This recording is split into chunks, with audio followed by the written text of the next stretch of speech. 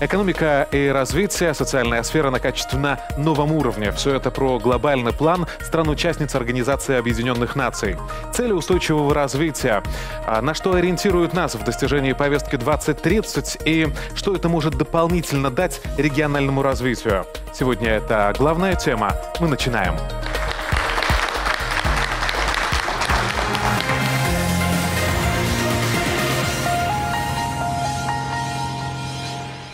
Итак, гости программы. Первый заместитель председателя Комитета экономики Гомельского облсполкома Андрей Сапко. Андрей Петрович, добрый день. Располагайтесь. Тематический координатор направления «Устойчивое развитие регионов» в программе поддержки Беларуси Дмитрий Карпиевич. Дмитрий Викторович, спасибо, что приехали. Располагайтесь. Заместитель директора предприятия «Спецкоммунтранс» Вадим Башилов. Здравствуйте, Владимир Анатольевич.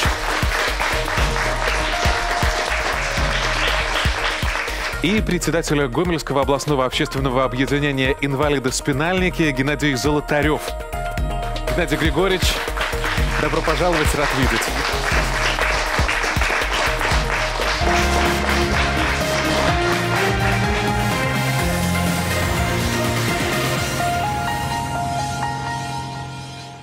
Что же такое цели устойчивого развития? В начале программы в качестве пролога минутный ролик. Внимание на экран. Как мы будем жить в 2030 году? Об этом расскажет глобальный план, принятый государствами-членами ООН, в том числе Белоруссию, в 2015 году. 17 целей устойчивого развития, включенные в этот план, пришли на смену целям развития тысячелетия, в реализации которых Беларусь достигла значительных успехов. Цели устойчивого развития затрагивают важные сферы жизни каждого человека и направлены на уменьшение неравенства и сохранение ресурсов планеты. Каждый из нас может внести свой вклад в их достижение для лучшего будущего всего человечества. Достигнем вместе, никого не оставим в стороне. Итак, 17 целей устойчивого развития. Какие цели, на ваш взгляд, наиболее важны и актуальны для Беларуси? Буквально недавно, несколько недель назад, компания Сачио сделала опрос, э, ну, такое социологическое исследование о восприятии цели устойчивого развития обществом нашим, да, и очень интересные результаты. То есть наиболее актуальными э, наши э, граждане видят цели, связанные с экономическим развитием, со здоровьем, с, с качеством здоровья. Ну, то есть э, это цели там 3, 8, а, конечно, качество образования. Четвертая цель тоже отмечена. Экологический э, блок э, достаточно признан актуальным. Интересна, например, позиция экспертов Организации Объединенных Наций, которые несколько лет назад предложили Беларуси, так сказать, платформу ускорения. То есть те приоритеты, которые, на которые делать акцент, да, и которые будут приводить к достижению цели. Да? И, например, среди них отмечено тоже гендерное равноправие, то есть движение в ту сторону, да? ориентация на будущее поколение, а, зеленый переход, а, цифровая трансформация. Да? И в моем понимании, что это и есть те а, все-таки точки роста для Беларуси. Э, Все больше выходит на первый план именно образование, а может быть и переобразование. Вообще, если более точно, образование на протяжении всей жизни. Почему? Безусловно, образование рассматривается таким инструментом достижения других целей, потому что без него невозможно достичь э, здорового образа жизни, переориентироваться на рынках труда. То есть ведь э, цели устойчивого развития – это не абстракции некие, да, это реакции действительно на те вызовы, на те изменения, которые мы видим каждый день. Отсутствие зимы в этом году, например, да. А, ну и например, цифровая трансформация, да, э, с каждым которая днем, да, с каждым днем наступает мы, на пятки общества. И в этом плане э, получается, что человек, человек уже не может может э, обучиться на всю жизнь один раз, да, то есть в школе, в университете, в колледже. Он вынужден э, обучаться все время, э, и таким образом именно образование на протяжении всей жизни, поддержка этого образования – а, какая-то а, фокусировка со стороны и государственных структур, она очень важна. Как мы будем жить в 2030 году? С этого начинался ролик, который не так давно смотрели на экране. А вот действительно, от чего, Андрей Петрович, на ваш взгляд, зависит эффективность реализации этих планов? Главная цель э, целей устойчивого развития, да, это улучшение жизни каждого человека в нашей стране. Эм, хочу сказать, что экономический рост, да, доступность и качество образования, медицины невозможно в любой стране без учета экологических эм, факторов, да, э, развития гражданского общества, того же гендерного равенства, вот, э, поддержки наиболее уязвимых слоев населения. Вот. Э, поэтому... Все должно сработать в комплексе, в комплексе, но все-таки, наверное, здесь еще и разговор про личную инициативность и активность каждого. Э, конечно, местные сообщества играют немаловажную роль в, скажем так, в этих инициативах и э, в реализации этих целей устойчивого развития. Э, ну, хочу сказать, что в Беларуси э, выстроена четкая архитектура да, поддержки процессов целей устойчивого развития. Дмитрий Викторович, вот интересно мнение гостя из Минска. Как оценивают ваши коллеги опыт гомельчан и Гомельской области э, в деле движения к повестке 2030? Я думаю, что на этот вопрос представителям области лучше отвечать. Да? Но если конечно, на основании того, вот, что видно, да, в чем участвовали, безусловно, следует отметить э, достаточно большую активность негосударственных общественных организаций, да, а, очень много проектов вот, э, и направлений деятельности, и это ну, в значительной мере отличает от э, деятельности других, например, регионах. Есть активность на уровне конкретных, я бы сказал, бы, территорий, районов э, в определенных сферах, но здесь очень важно все-таки понимать, что понятно, что в контексте устойчивого развития делается в нашей стране очень много и очень много практик можно привести, да, примеров, но говоря уже о целях устойчивого развития, есть такой термин, ведь получается это концепт глобальный, да, а, но а, его успех э, достижения – это местный и региональный уровень. То есть если э, там будет происходить действие, то значит мы достигаем цели. Да. Есть такое понятие, как локализация целей устойчивого развития. То есть смысл сводится к тому, что понятно, что мы, э, делая что-то, уже вносим свой вклад. Да? Но очень важно все-таки вот, э, помнить тот принцип, который еще был в повестке 20, на 21 век, мыслить глобально, действовать локально. Да? То есть видеть вот эти взаимосвязи, видеть, э, что влияет на одно, и поэтому очень важно это наличие э, приоритетов, индикаторов, э, при том, э, которые рождаются и создаются не конкретными экспертами, а они э, вырабатываются сообществами. Вот как говорилось, с вовлечением и государственных организаций бизнеса, и организаций гражданского общества. И в этом плане, конечно, а, хотелось бы все-таки отметить то, что сейчас происходит в Могилевской области. Да, они на протяжении уже фактически э, года э, вели процесс по разработке а, областной стратегии устойчивого развития. Скажу сразу, он идет непросто.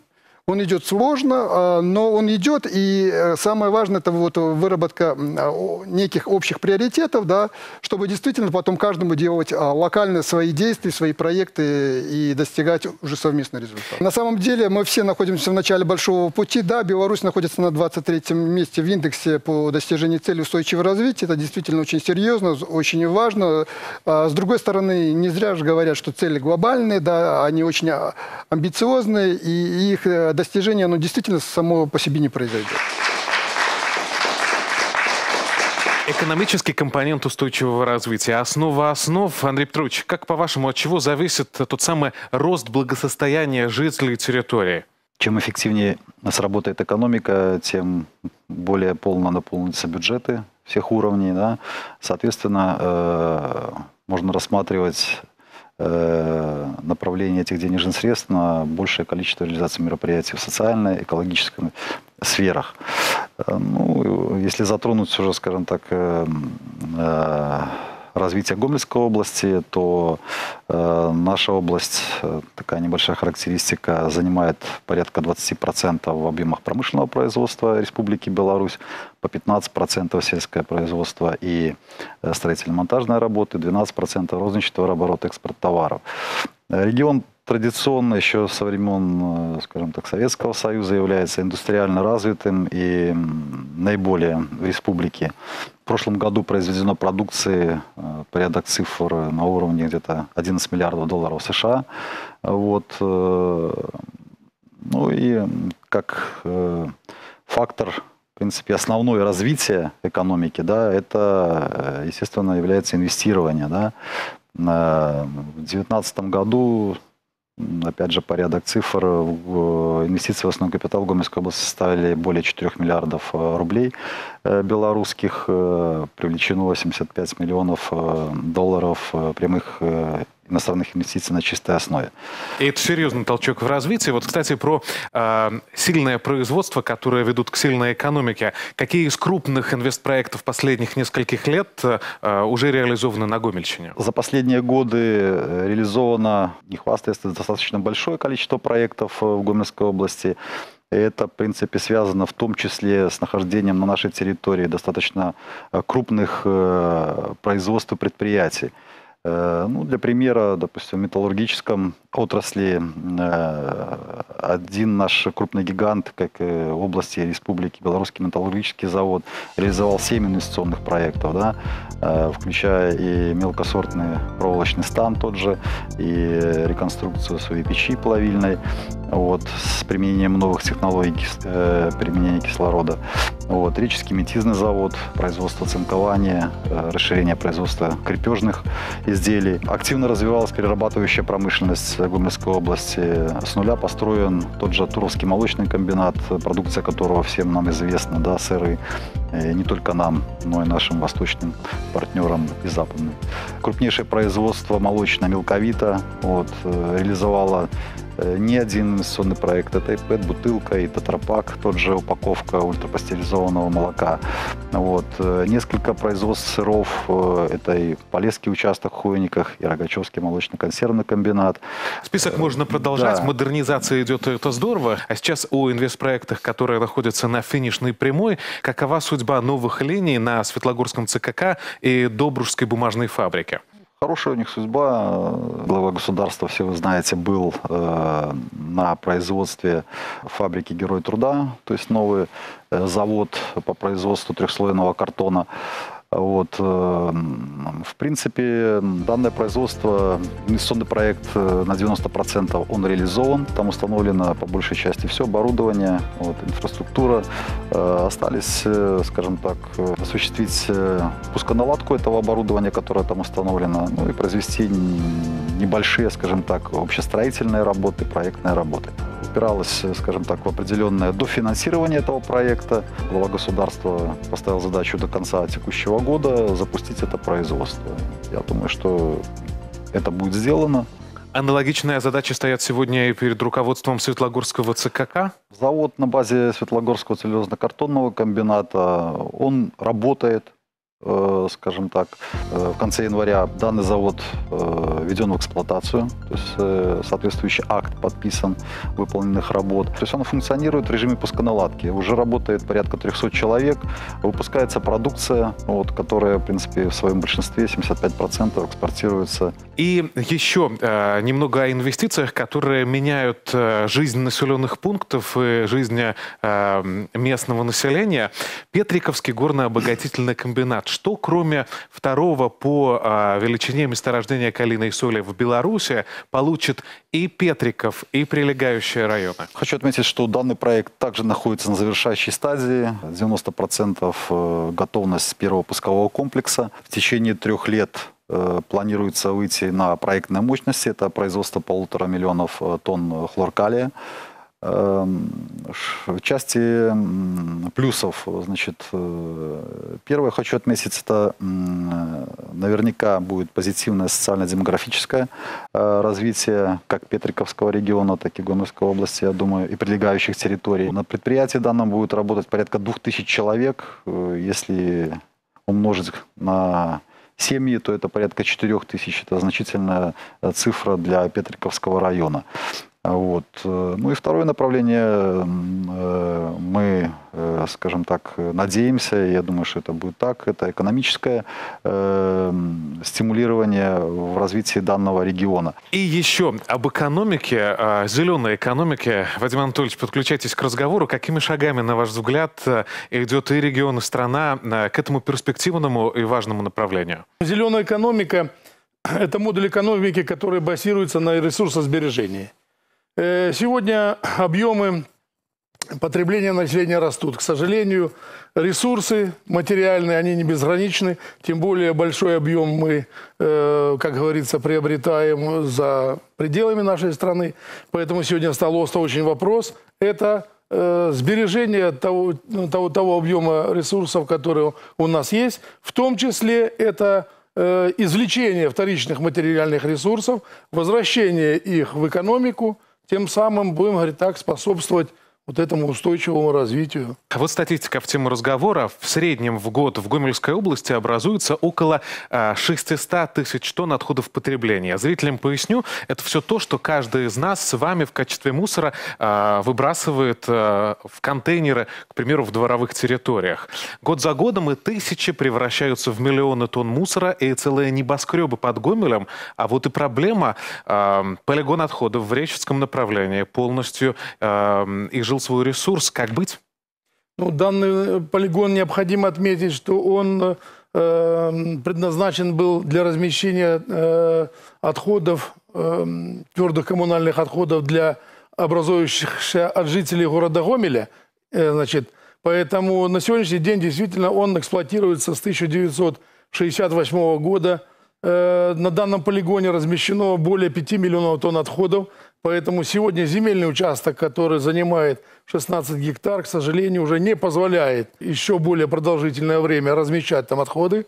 Поэтому сегодня э, принимаются меры по э, изысканию земельного участка – для того, чтобы произвести строительство полигона нового уже. И речь, стоит подчеркнуть, не просто о полигоне. Да. Это будет новое современное мультикомплексное предприятие. Расскажите, как оно будет выглядеть, из чего может состоять? Сегодня э, большое количество мини-полигонов и полигонов, тоже, которые уже эксплуатируются более 20 лет, подлежат поэтапному закрытию.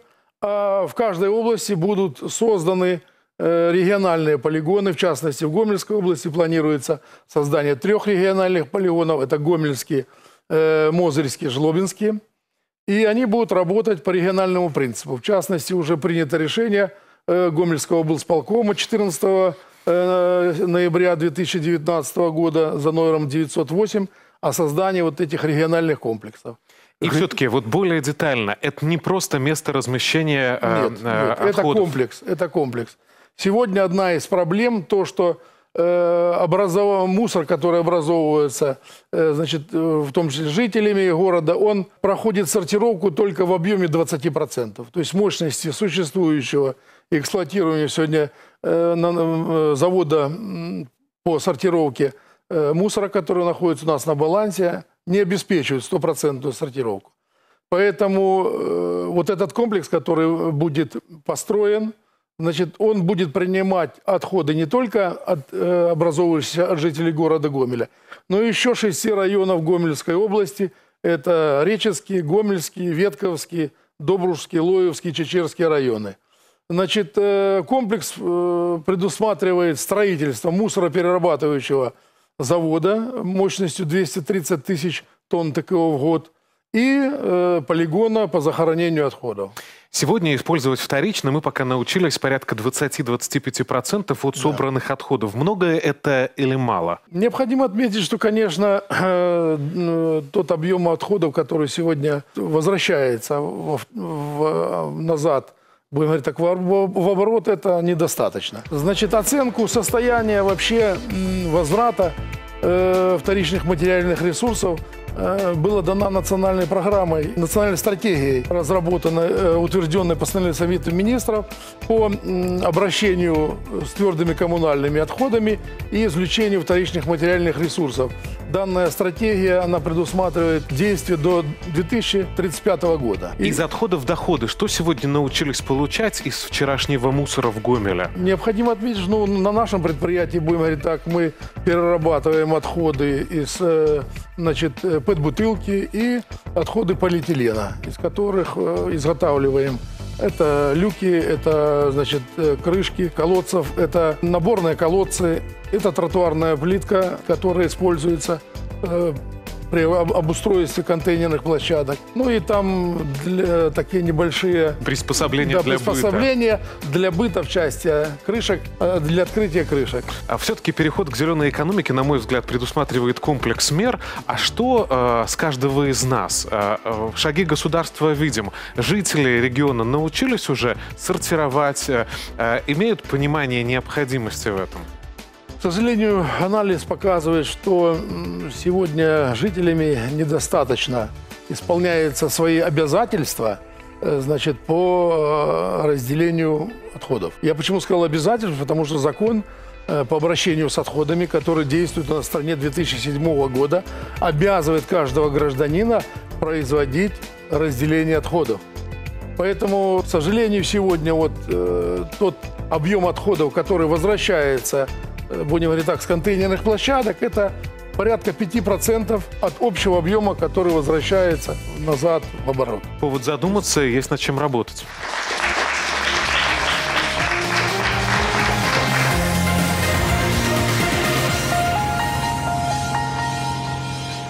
Это главная тема, и мы продолжаем. К разговору в студию спешит присоединиться координатор региональной партнерской сети социальных некоммерческих общественных объединений Гомельской области Нина Кекух. Встречайте. Нина Ивановна, добрый день, располагайтесь.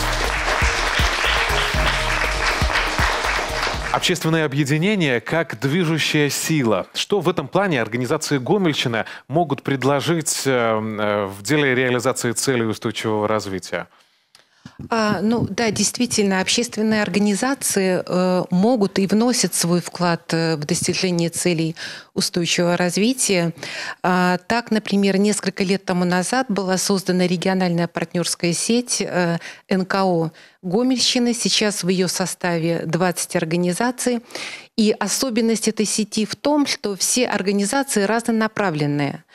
А, наши организации работают и в сфере экологии, и женского предпринимательства, неформального и дополнительного образования взрослых, инклюзия, разная социальная тематика, развитие регионов и так далее, и так далее можно перечислять. Но сеть, а, тем не менее, объединена тем, что все организации привержены целям устойчивого развития. А, работаем мы на принципах а, взаимопомощи и взаимоподдержки. Каждая организация хочет развиваться и приносить пользу обществу. Буквально несколько примеров э, в тему, чтобы было понятно, о чем говорим. Насколько ваши инициативы поддерживают местные власти и насколько востребованы они местными жителями? Ну, вообще надо сказать, что э, ни один проект, ни одна инициатива не будут поддержаны э, ни государством, ни, допустим, донора, донором, если э, это проект, допустим, да, если этот проект не нужен населению. И э, вот в качестве ответа на ваш вопрос э, по поводу, нужно ли это местным жителям, а, я могу привести пример, например, нашей жидковической организации «Биообдеми», Белорусская ассоциация помощи детям-инвалидам и молодым инвалидам, которые сейчас готовятся к открытию социального предприятия по изготовлению чаев из натуральных трав. И на этом предприятии будут работать именно люди с инвалидностью. И, как говорит сама руководитель этой организации, что если, допустим, общественные организации возьмут на себя ну, функцию такую или задачу по открытию подобных социальных предприятий а, в малых городах, то, в принципе, проблема трудоустройства а, людей с инвалидностью в малых городах может быть решена. А вы возглавляете областное общественное объединение «Социальные проекты». Над какими проблемами работают наиболее серьезно сегодня ваши волонтеры в самых масштабных проектах?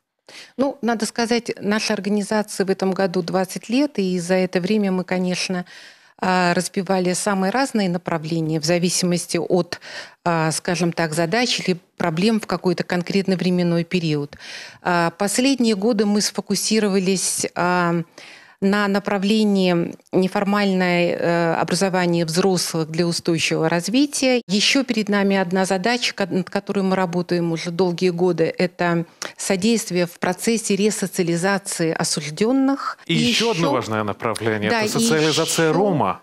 Да, да, это вообще наш такой многолетний проект. Мы над ним работаем уже порядка восьми лет а, в партнерстве тоже с одной из наших организаций «Романа Дром» и в сотрудничестве с Институтом развития образования.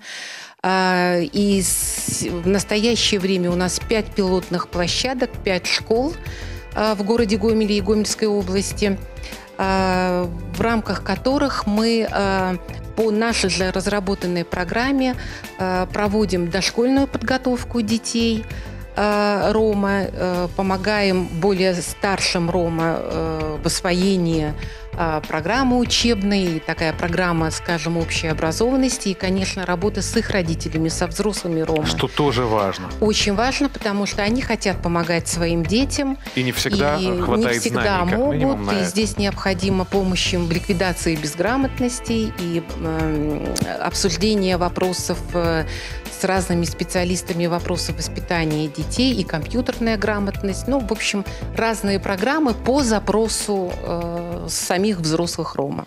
Спасибо, успехов. Цели устойчивого развития, то, о чем сегодня говорим, это ведь э, действительно и про равные возможности. В Гомельской области проживает, если не ошибаюсь, около 86 тысяч людей с инвалидностью. Геннадий Григорьевич, э, какими шагами, насколько активно мы движемся к полной инклюзии? И вообще, может ли она быть такой? Я хотел бы напомнить, наверное, нашим телезрителям, в первую очередь, что такое инклюзия. Инклюзия – это в первую очередь процесс процесс реального вовлечения э, людей с инвалидностью в активную э, социальную жизнь. И инклюзия предполагает собой э, разработку конкретных решений, которые дают в результате возможность каждому человеку на равных участвовать в общественной жизни. И здесь очень важно и отношение общества, и заинтересованность власти, создание условий для этого, и все-таки активность э, э, самих людей с инвалидностью. Конечно. В первую очередь, э, любая проблема э, наибольшим образом всегда решается, когда в, не, в ее решении участвуют все заинтересованные стороны.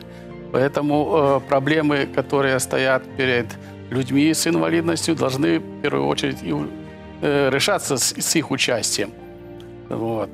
Если взять вот э, историю нашей организации, чтобы оценить вот этот процесс, который проходил в республике даже э, по э, развитию инклюзии, я должен сказать, что вот э, когда мы еще регистрировали нашу организацию... Это был 1997 год. 97 Первое общественное объединение инвалидов-колясочников в Беларуси появилось в Гомеле.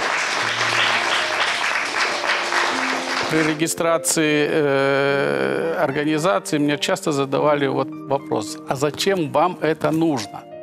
Вам, людям в инвалидных колясках.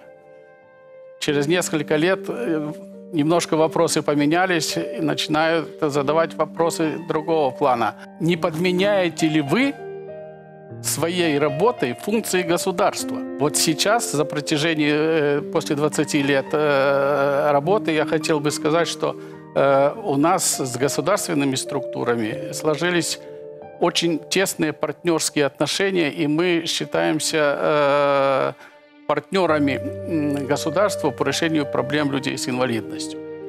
На сегодняшний день и в республике создан э, такая хорошая юридическая площадка, как Межведомственный республиканский совет э, по делам инвалидам. И в Гомельской области тоже есть такой областной координационный совет э, по решению проблем э, людей с инвалидностью. И в этом совете работают как э, заинтересованные государственные структуры, так и общественные объединения инвалидов. Я знаю, не так давно э, э, актив вашей организации встречался с архитекторами региона. Э, какие задачи э, ставили стороны каждый перед собой? Ну, я должен сказать, что это не первая встреча. У нас уже налажена такая системная работа, в том числе э, не только с архитекторами, но и с проектировщиками, э, с организациями, с заказчиками, с общественными э, объединениями инвалидов – и мы э, обсуждаем проблемы безбарьер... создания условий безбарьерной среды для физически ослабленных лиц. То есть сегодня она создается и, и проектируется с учетом заинтересованных, и это очень важно.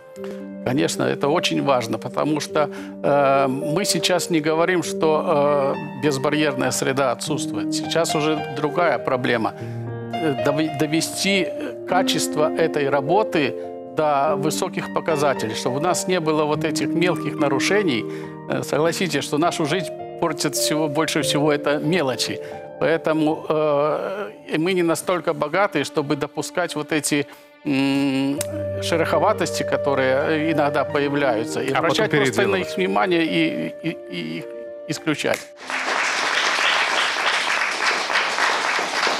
И еще одно экспертное мнение в тему программы ждем в студии на Пушкина 8 заведующего отделом Гомельского государственного областного дворца творчества детей и молодежи Владимира Александровца. Здравствуйте, Владимир, располагайте. А знает ли молодежь о целях устойчивого развития? Как сделать, чтобы этой информации было больше? Э, добрый день. Э, важно сказать, что 2020 год открывает десятилетие решительных действий э, в достижении цели устойчивого развития. И, конечно же, в этом контексте на глобальном уровне указано вот э, действие на глобальном, действие на региональном, на локальном уровне и действия простых людей. И молодежи здесь также отводится э, достаточно весомая, важная роль. Конечно же, на мой личный взгляд, мы не в полной мере используем потенциал молодежи в достижении цели устойчивого развития, в популяризации этого направления среди широкой общественности и в целом среди жителей как нашего региона, так и республики Республики Беларусь. Хотя нельзя сказать, что чего-то там не делается. Да? У нас э, в Беларуси э, создан такой, как общественный институт. Это молодежные послы цели устойчивого развития. Это э, молодежь Беларуси из разных учебных заведений, которые по направлениям устойчивого развития говорят о том или ином направлении о том, как это важно делать. Есть определенная работа и в Гомельской области, и вот здесь, представляя Гомельский областной дворец творчества детей и молодежи, я хочу сказать, сказать, э, что э, в этом контексте, э, конечно же, мы работаем и с лидерами общественных объединений, детского и молодежного движения, как такой брендовый проект нашего учреждения. Это областные форумы лидеров детского и молодежного движения, где мы с 2017 года начали активно поднимать вот эту тему. Первый раз в рамках недели устойчивого развития в Беларуси, которая проводилась вот в рамках программы поддержки Беларуси мы говорили о теме устойчивые города и населенные пункты. Э, и вот этот э, год, он стал э, для нас таким где-то вызовом, когда мы попытались еще, ну, не только рассказать вот информационно, но еще и создать свой такой методический, дидактический продукт для участников нашего форума. Мы провели такой ЦУР-маршрут, и результаты этого маршрута показали, что, в принципе, молодые люди знают о том, что такое устойчивое развитие, какие направления, какие тенденции. Это нас не может не радовать.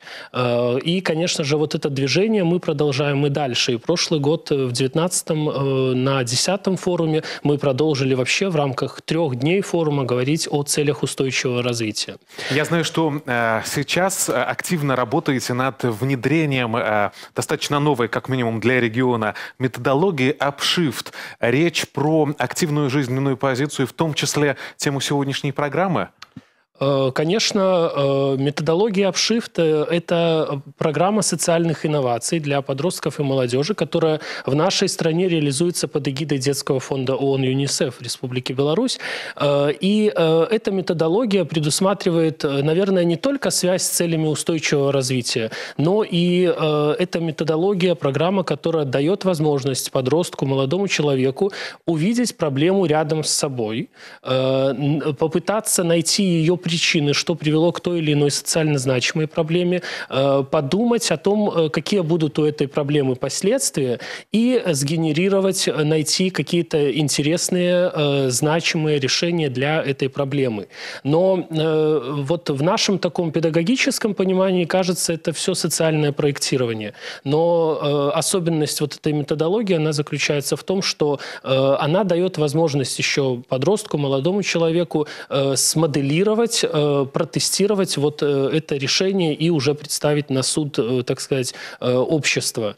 И здесь вот мы также работаем в этом направлении для реализации этой методологии. На форуме лидеров детского и молодежного движения мы протестировали 17 целей устойчивого развития, какие могут быть решения в нашей Гомельской области, в стране. А также вот, по каждой, насколько знаю, проект разработан? Да, каждый, каждая группа проектная разработала свой проект по э, уменьшению неравенства, по ликвидации голода. И такие даже, э, казалось бы, на наш взгляд, банальные э, там, инициативы, что сегодня важно там, устанавливать полки для помощи нуждающимся в магазинах, что в каком-то населенном пункте Гомельской области нужен светофор, потому что это будет вот и инфраструктура, и также уменьшение вот, количества несчастных случаев. Также молодые люди, вот, ну, как самая непосредственная целевая группа, говоря об образовании предлагала ввести такой э, институт, форму независимой оценки контрольных работ, шифрования, для того, чтобы не было предвзятого отношения со стороны педагога. Каждая идея заслуживает своего внимания, она достаточно важна. И сейчас... И самое вот... главное, что это активная жизненная позиция ребят, которая поддерживается. Меня зовут Вера Михайловна. Я представляю организацию несовершеннолетних узников «Дети войны». Вот тут присутствуют тоже они. Я хочу, во-первых, поблагодарить очень нашего Александронца, нашего Владимира Николаевича, за, за его проекты, за то, что он нас привлекает. И мы даже вот, мы в пенсионном возрасте, мы научились благодаря водоустойчивому развитию, мы научились рисовать, мы научились э, общаться. Вот у наша организация вообще даже детей, трудновоспитуемых детей, у нас даже поступил мальчик один. Наша организация вообще представляет очень проекты, которые мы организовываем экскурсии. То есть, э, чтобы наши люди, наши люди, пожилые люди, которые есть уже не мобильные, но, но мы хотим им вот продлить немножечко жизнь, как бы делать их досуг более интересным. Поэтому... То есть я понимаю, что в том числе благодаря инициативам молодежи, а вы сотрудничаете да, с да, Дворцом мы сотрудничаем. Э, это... Вы получаете еще один шанс к активной да, жизни. К активному жизни. долголетию, так скажем. Ну и, и что еще хочу, хочу пожелать всем вот пожилым, кто здесь находится в студии, чтобы самое главное, это не быть равнодушным. Даже к окружающему миру, ко всему. Это прямое отношение имеет к теме программы. Цель 17. Партнерство в интересах устойчивого развития. Как понимаю, именно эта цель поможет нам э, прямо сейчас подвести итоги программы. У каждого из вас, уважаемые гости, по традиции есть буквально по одной минуте для того, чтобы подвести черту в этом разговоре. Геннадий Григорьевич. Я хотел бы пожелать всем общественным организациям социальной направленности занимать действительно активную жизненную позицию, потому что сейчас э, такое время, когда э, принята конвенция о правах инвалидов, э, вводится э, в ближайшее время новый закон, касаемо э, жизни э, инвалидов. И нужно быть вот именно э, неравнодушным человеком, чтобы вот эти законодательные акты, в конце концов, стали э, настолько э, совершенными, чтобы наша жизнь значительно стала лучше и прекраснее. А, Вадим Анатольевич, а реализация целей устойчивого развития, от чего зависит их эффективность? От активной жизненной позиции каждого гражданина Республики Беларусь. Поэтому обращение с отходами, чем больше мы сбережем, тем э, мы более чисто оставим нашу землю нашим детям и потомкам. Поэтому это же самая основная наша задача. Дмитрий Викторович. Мы сегодня видели, вернее, слышали много примеров позитивных. Очень важно, чтобы они оставались не просто единичными примерами, да, а они действительно становились уже постоянной практикой, поэтому здесь очень важно не только активность организаций да, общественных, а, очень важно, чтобы э, создавались определенные условия. Да, вот э, уже говорилось а, про инклюзию, про ее внедрение, про тот путь, который мы прошли больше 20 лет. Да, хотелось бы...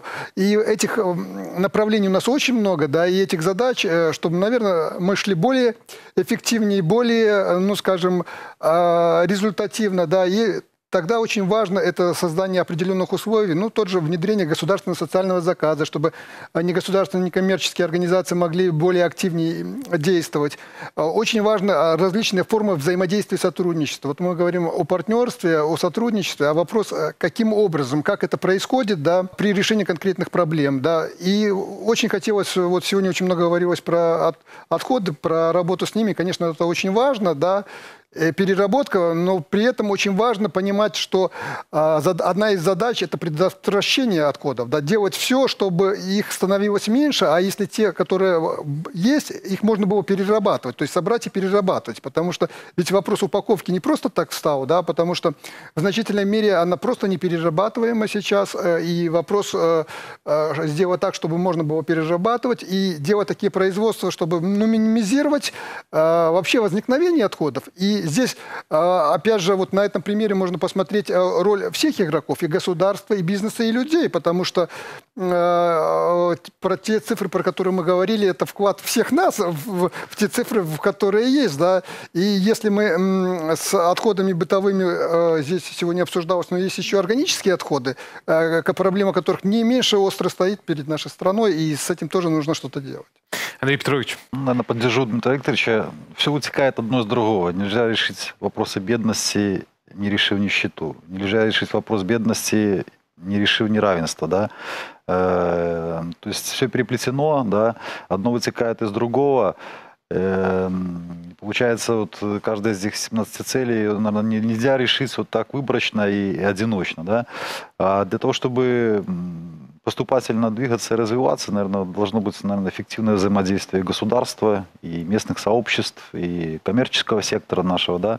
Только при этом условии, наверное, будет у нас и э, эффективное развитие экономики, экологическая безопасность и тоже социальная э, стабильность, да. Итак, это были наши выводы. Сделайте свои. На этом ставим точку. Встретимся ровно через неделю здесь, в студии на Пушкина 8. До встречи. Благодарю за участие. Благодарю. Спасибо.